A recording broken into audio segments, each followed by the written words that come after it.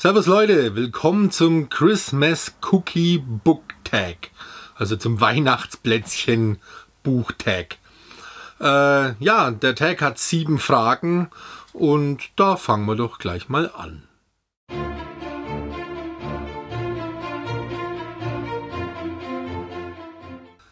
Erstens, Ausstechplätzchen. Welche drei Bücher verbindest du mit deiner Kindheit? Ähm, ja, als allererstes äh, von Patricia St. John äh, Spuren im Schnee. Ein wundervolles äh, ja, Buch und ich lese euch auch gleich mal das hier hinten vor, falls ihr das Buch eben nicht kennt. Äh, sieben Jahre ist Annette alt, als ihre Mutter stirbt. Nun muss sie auf den, dem kleinen Bauer, Bergbauernhof in, der, in den Schweizer Alpen für ihren Vater und den kleinen Bruder Dani sorgen. Bei einem Streit mit dem Nachbarsjungen Lukas verunglückt Dani schwer. Annettes Hass kennt keine Grenzen. Sie scheut keine Mittel, um Lukas zu bestrafen und wird dabei selbst unglücklich. Eines Tages erfährt Lukas, dass es eine Möglichkeit geben könnte, das Geschehene wieder gut zu machen. Es ist äh, zu außer, er ist zu außergewöhnlichem bereit, ja setzt sein Leben aufs Spiel, damit Dani wieder gesund werden kann.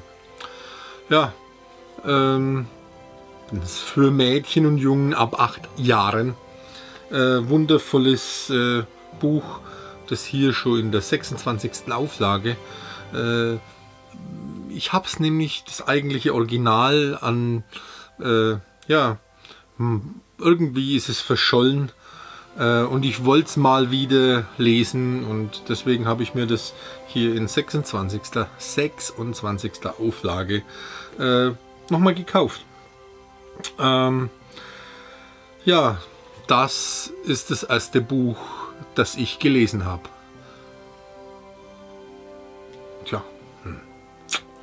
Und äh, ja, das, deswegen ist es uh, das erste Buch. ja, und dann äh, ein weiteres Buch, das ist eigentlich ein, ein Doppelbuch. Äh, da sind nämlich zwei Geschichten äh, drin. Äh, von Matthias Martin Gefahr aus dem Dschungel. Äh, aber eigentlich eben das Tal der flüsternden Quellen ist äh, quasi der erste Teil und dann der zweite, das zweite Buch äh, ist dann glaube ich das die Gefahr aus dem Dschungel. Äh, ja, das hat äh, ja in jungen Jahren so meine Leseleidenschaft geweckt. Äh, also nicht nur jetzt Spuren im Schnee, aber das war so das erste Buch, das ich äh, im Prinzip inhaliert habe. Denn ich habe das in einem äh, Zug durchgelesen. Nicht so wie bei Spuren im Schnee, immer so Kapitel für Kapitel, jeden Abend ein bisschen und so. Bei dem Buch, das war das erste Buch, bei dem ich nicht mehr aufhören konnte, eben zu lesen. Und tja. Und dann äh, von Michael Ende. Momo.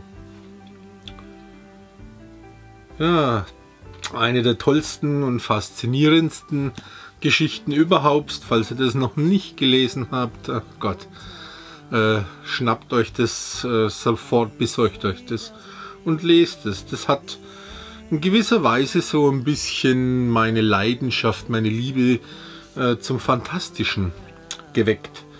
Und äh, ja, es war eben auch eines der, der allerersten äh, Bücher, die ich so wirklich geliebt habe. Von dem her, ja, Momo.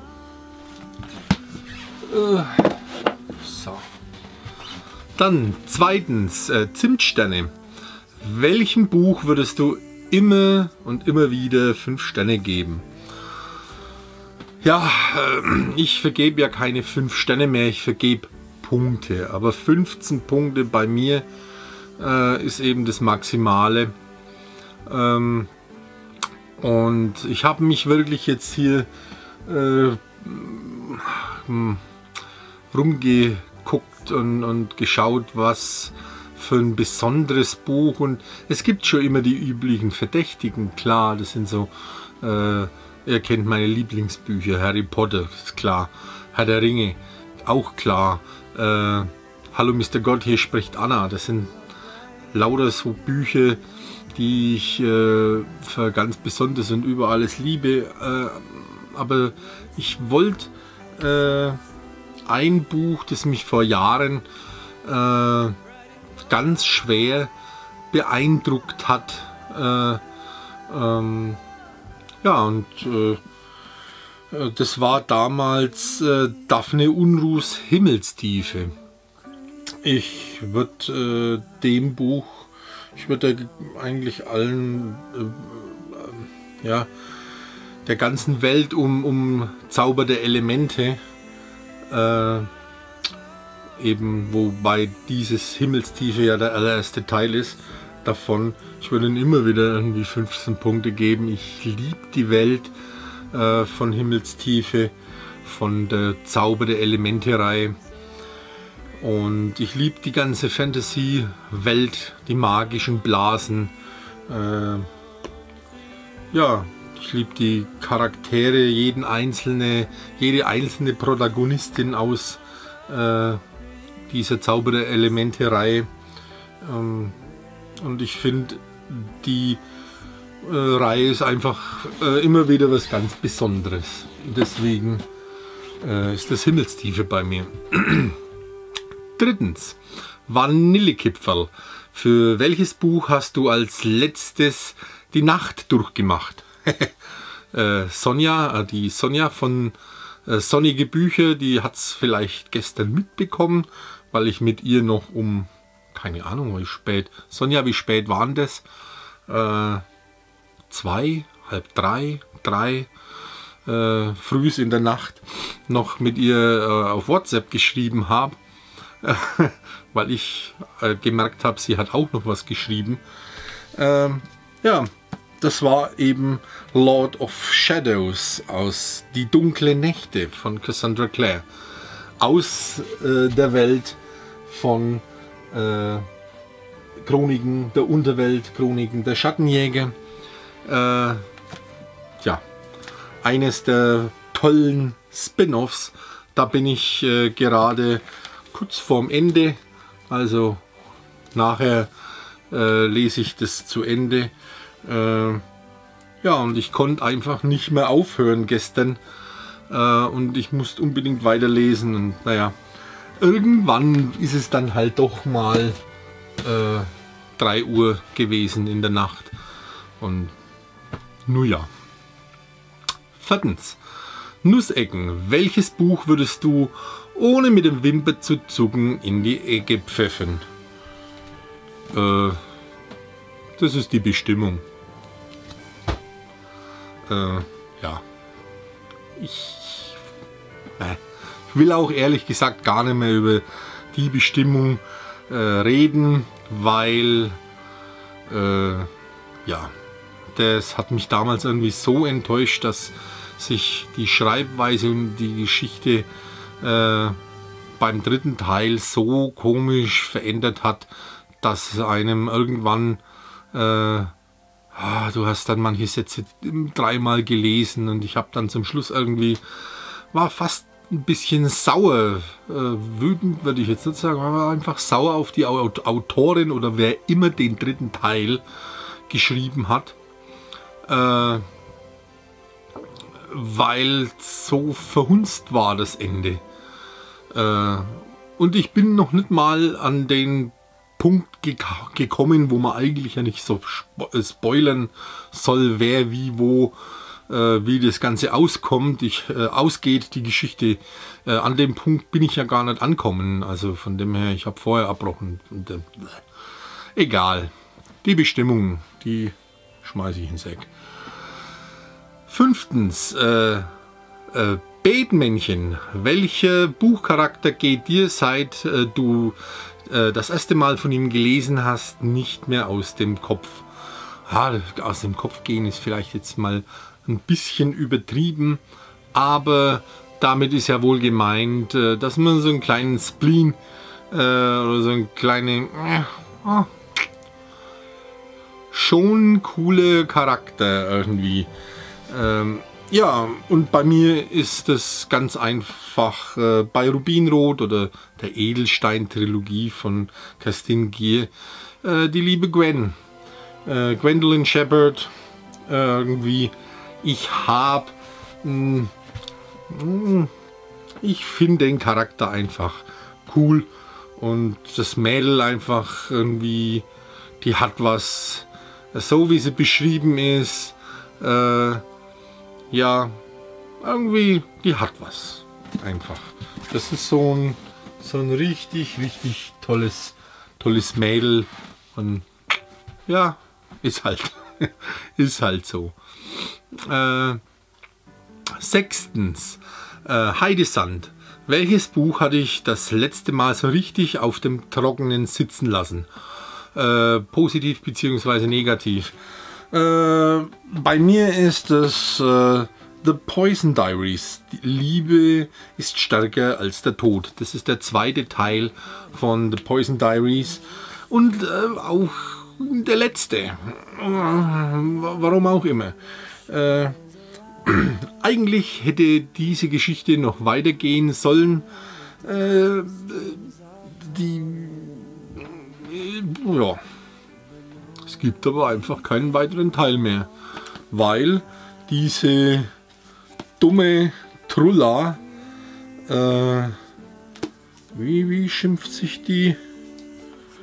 Äh, die Duchess of Northumberland oder irgendwie so. Das ist so eine englische adelige Trulla, ja, äh, die sich dachte, hey, ich habe da so eine Geschichte im Kopf und äh, ich äh, besorge mir jetzt irgendwie so eine Ghost Riderin oder Ghost Rider. Äh, genau, da J. Northumberland.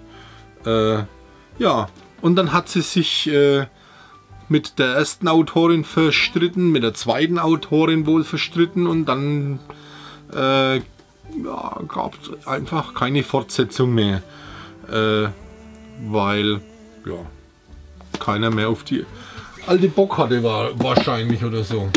Und dann sitzt du halt auf dem Trockenen und willst eigentlich wissen, wie, wie geht die Geschichte aus, wie geht sie weiter.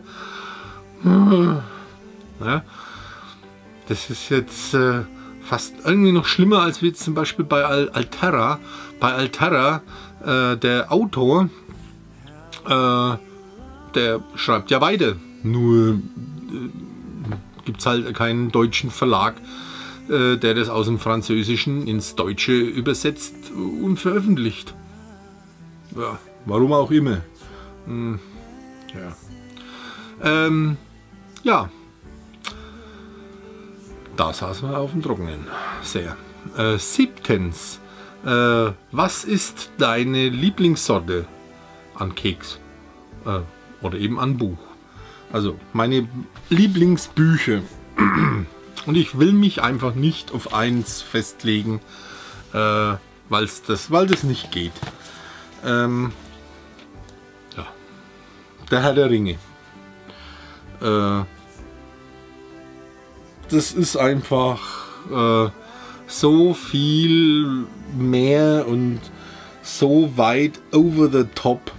Äh, und ja, deswegen für mich meine 16 und 17 punktigen Bücher.